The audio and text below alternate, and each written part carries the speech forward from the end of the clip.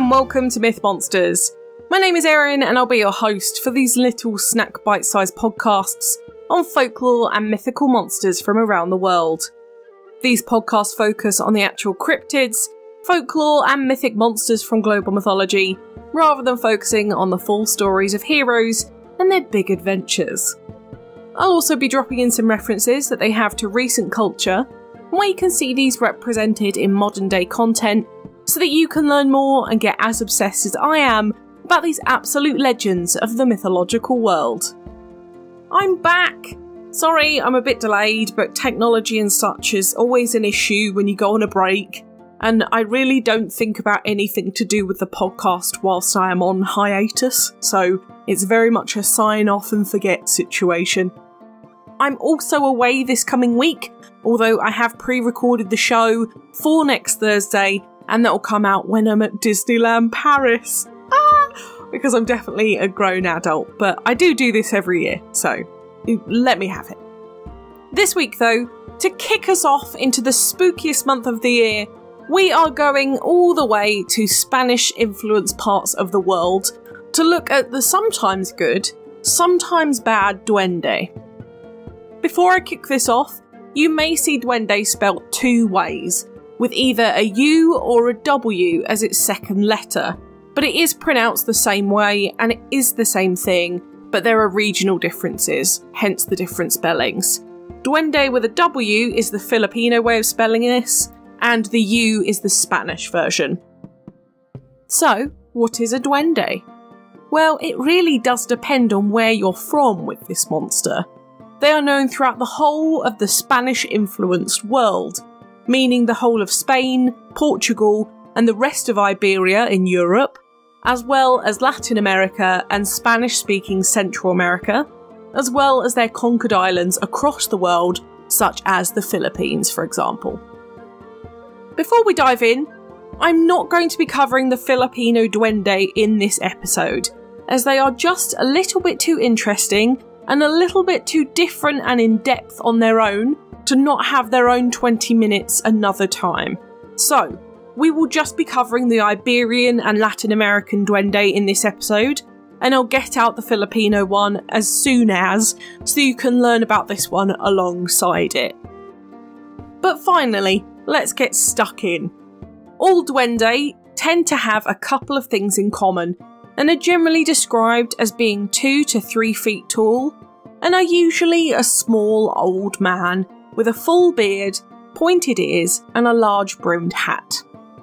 They are generally known for being a mischievous house dwelling spirit, earth elemental, or fairy folk, but can also be found outside the home in woodland and forests, with an affinity for nature and looking after their local habitats.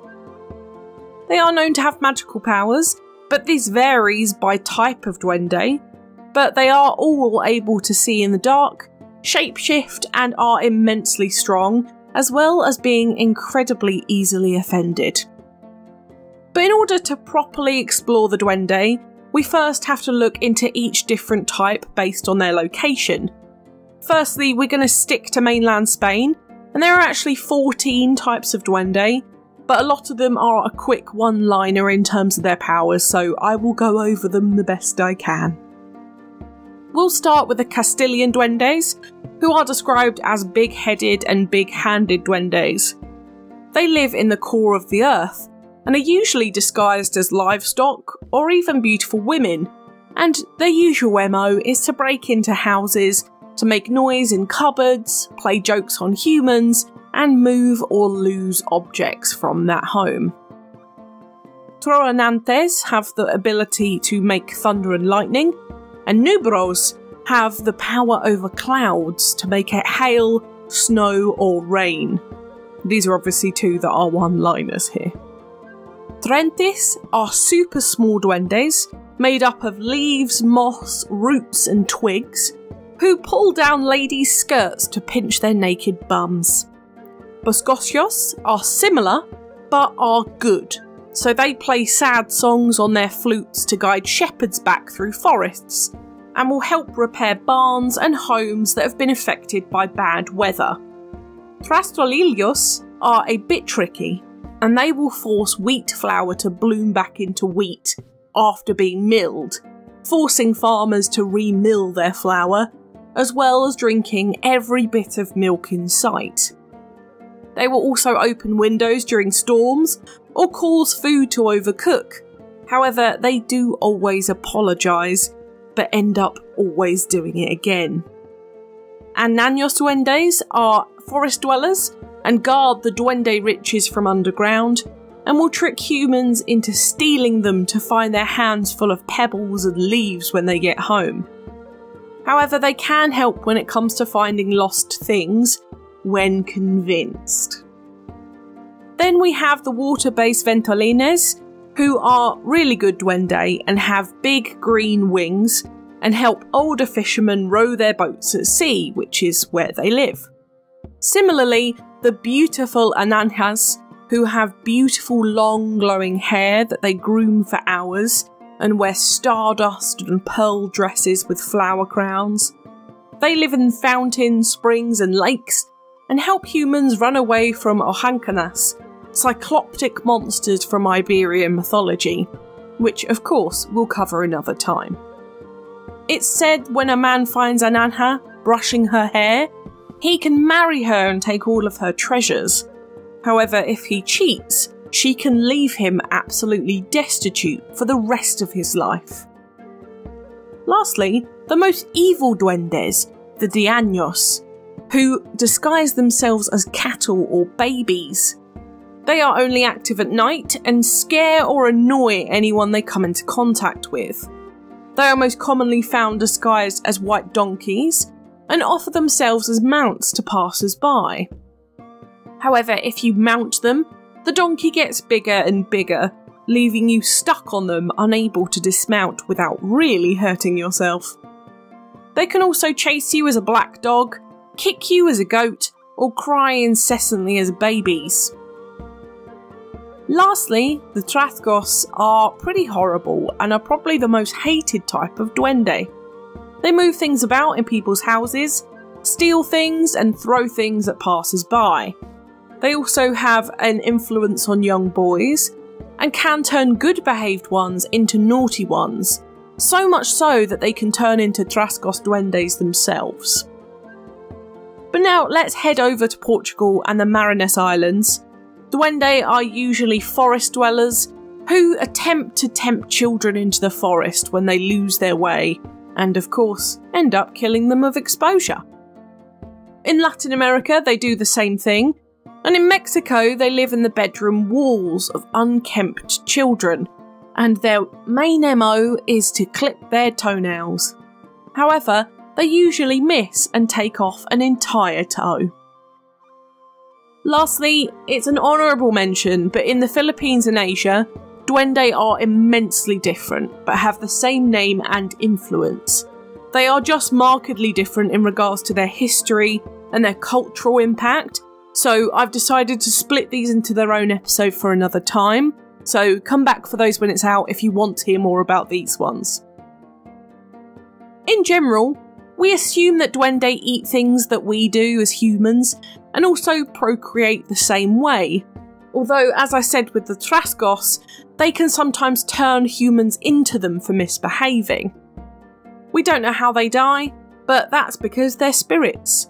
It would most likely just be best to move away from them, rather than thinking you can kill one off. Of course, you're most likely to come into contact with them in your own home, and the best thing to do is to make sure that you respect the fair folk and make sure that you try absolutely everything not to get on their bad side, such as leaving out gifts for them, such as milk and bread. It's a great way to keep them happy and on your side in your house. Now, the etymology for this one is pretty easy. Duende in Spanish is for elf, which is a good summary of what they are in terms of European mythology, and the idea of small elves being a menace or a help. Although the word duende actually came from a phrase, dueño de casa, which means master of the house, and was created as a stark opposite to that. However, duende actually has another meaning in Spanish, which is a heightened state of emotion and authenticity in response to a piece of art. And I'll get onto this later in this section to talk about the other side of this word, and most importantly, that Spanish culture section. But let's go into their history. We actually have very little to go off, to be honest. We know that they would have come from Spain and Portugal rather than the invaded countries, such as Latin America, and European history pertains to fair folk for a really long time. Sprites were within European folklore since the beginning of the Middle Ages, in around 500 BC, and really started from the Middle East and Celtic nations, and then spread into Germanic, French, and British folklore, eventually hitting the Romantic countries in Iberia, such as Spain and Portugal, in late 1100 AD. The first mention of elves, though, in the context of duendes, was in a book called Cantar de Mio Cid by a Castilian lawyer per abbat between 1140 and 1207 AD, and this book talks about Elfa Pipes, which is a duende's cave. Later on, a demonologist, which is a legitimate job title by the way, Fray Antonio Fuentelapeña, talked about duendes and other mythical creatures in Iberia in his book, The Elucidated Entity, in 1676, which talked about goblins and other creatures disappearing in the Holy Crusade. And that's a really important contextual point. Spain and Iberia were known and realistically are still known for being immensely religious, usually Catholic throughout history, hence the Spanish Armada, for instance. The Iberian Crusaders were through the 11th to 13th centuries, and they were liberating, I'd like to put that in bunny ears, Iberia from Islam as the main religion and converting everyone to Catholicism.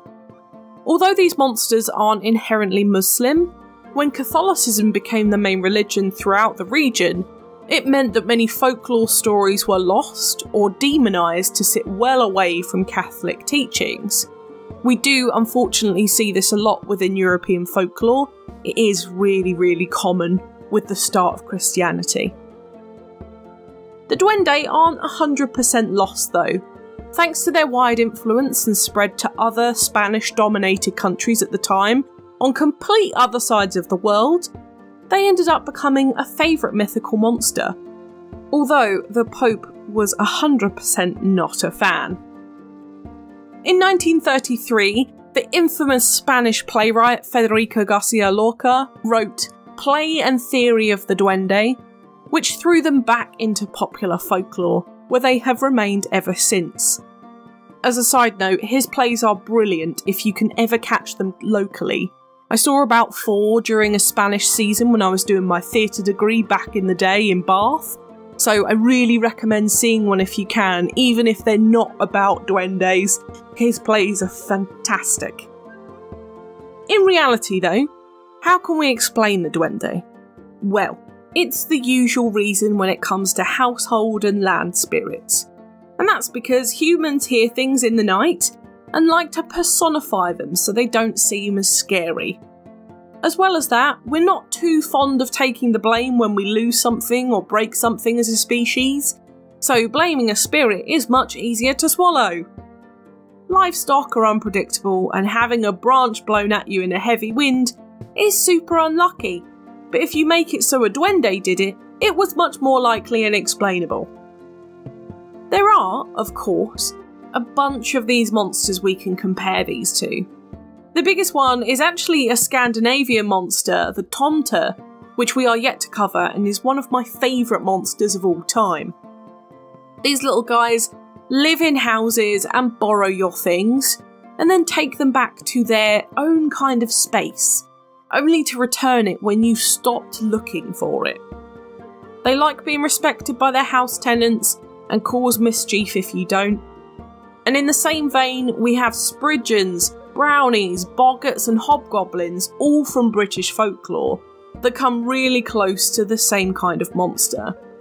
All being household or nature spirits that demand respect in return for a few mini blessings on your land. Otherwise, they wreak havoc on you and your family and your farm. I also said I would talk about duende as a noun earlier on, and the impact of this word on Spanish culture. Duende is a term that captures authenticity that comes from people whose lives are usually full of hardship and sorrow, but also come with joy and connection to other people. So, duende is actually used as a word more commonly, not as a monster, but as a descriptive word for art. For instance, bullfighting, flamenco, and even football are things that the Spanish would call duende, as they are a cultural experience from all walks of life, celebrated together with emotion and passion across all classes and walks of life. I love that this word continues culturally and we should all take a bit of Spain's influence and celebrate Duende together. To quote Garcia Lorca himself, the Duende then is a power, not a work. It is a struggle, not a thought. I have heard an old maestro of the guitar say, the Duende is not in the throat. The Duende climbs up inside of you from the soles of the feet. But now, on to modern media, we don't actually have much on the Duende themselves, but I've looked into some nature and household spirit media bits for you to go off in this section this week. But for art, have a look at the horrible painting Duendecitos by Francisco Goya from 1799, which I think is personally terrifying, but this is really the only proper portrait art of them but go and have a look at other bits from independent artists for this monster, especially the Filipino side, it is very, very cool. In movies, we have Maleficent, Epic, The Ugly Duckling, Frozen 2, My Neighbour Totoro, The Secret of Kells, Fern Gully, The Last Rainforest, Avatar, Mavka, The Forest Song, Hellboy 2, The Golden Army, The Hollow Child, King Arthur, Legend of the Sword, Princess Mononoke, Fantasia 2000, and Wendy. For TV, we have Hilda, Black Butler, Overlord, The Ancient Magus's Bride, One Piece, Charmed, Little Witch Academia, Once Upon a Time, Return to Labyrinth, Avatar The Last Airbender, Harvey Beaks, Natsume's Book of Friends, and Power Rangers. In video games, we have ones such as Touhou Project, The Witcher 3 Wild Hunt, Roki, Stardew Valley, The Legend of Zelda, Zork, Quest for Glory 4, Home Safety Hotline, Baldur's Gate 3, League of Legends, The Elder Scrolls, World of Warcraft, Dragon Quest VII, Story of Seasons, Lusternia, Thief, World of Mana, Total War Warhammer, Neverwinter Nights, Pokemon, and Terraria.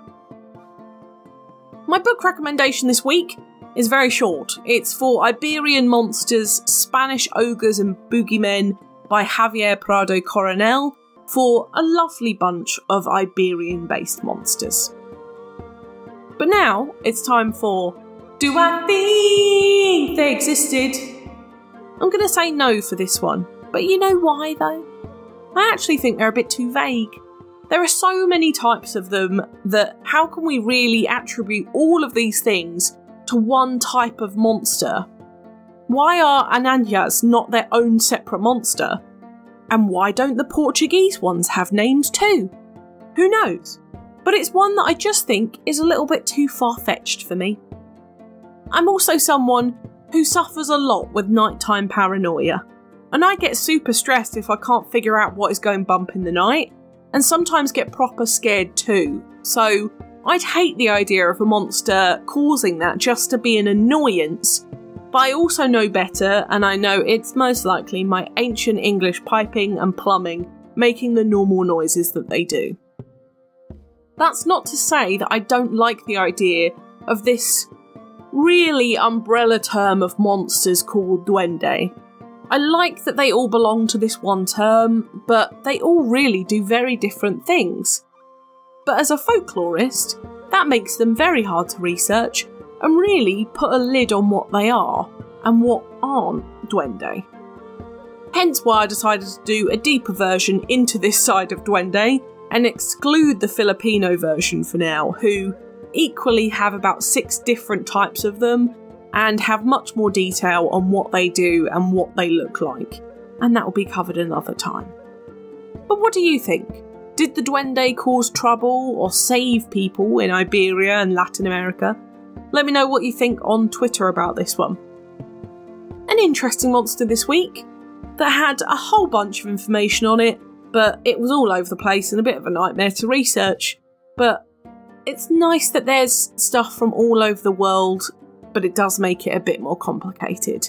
I hope it was worth it to know about these little mites from such a big chunk of the world's history and folklore. Damn you, you invaders in Spain. Next week, we're heading over to no place in particular and looking at a religious monster. We're going over to Islamic folklore next week to look at the terrifying demon, the Ifrit. I hope you've been good to avoid this one, and that's coming next Thursday. For now, thank you so much for listening. It's been an absolute pleasure. If you enjoyed this podcast, please give it a rating on the service you are listening on. I've got the Twitter for any questions or suggestions on what monsters to cover next, and I'd really love to hear from you. The social media handles for TikTok, YouTube, Threads, and Instagram are Myth Monsters Podcast, and the Twitter is Myth Monsters Pod. But all of our content can be found at mythmonsters.co.uk, including some very cool merchandise. And you can find us on Good Pods, Buy Me a Coffee, and Patreon if you want to help me fund the podcast too. Come join the fun though. Share this with your pals. They might love me as much as you do. But for now, stay spooky, and I'll see you later, babes.